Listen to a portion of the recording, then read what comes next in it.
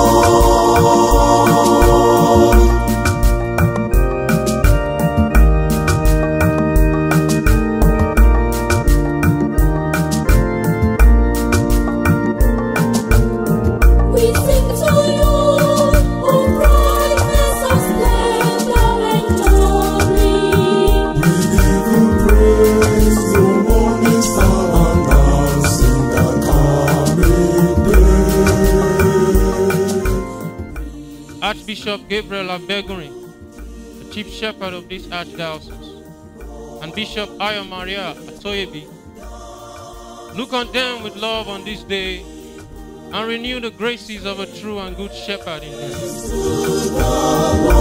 them.